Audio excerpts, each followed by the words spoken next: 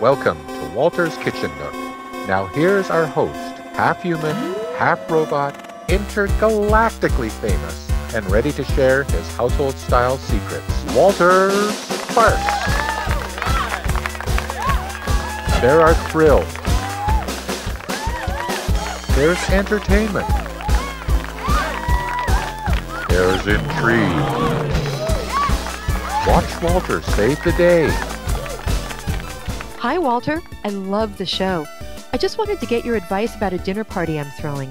It's my first time hosting my Survivors of Alien Abductions group at my house, and I wonder if you could suggest a serving dish that would make everyone feel at home.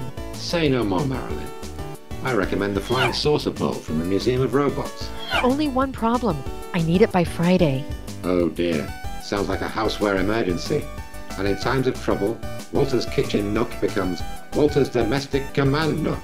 Kitchen Nook, transform. Telephone, get me San Francisco. Video screen, tune into the Museum of Robots frequency.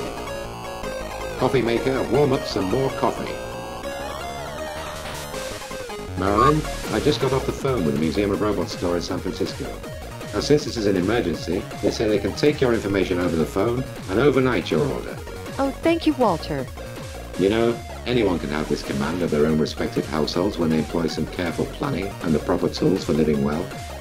In the end, appliances and humans can live in harmony with the right attitude and a little maintenance.